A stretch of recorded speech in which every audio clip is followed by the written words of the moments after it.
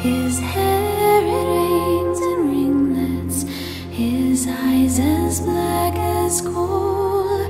My happiness attend him.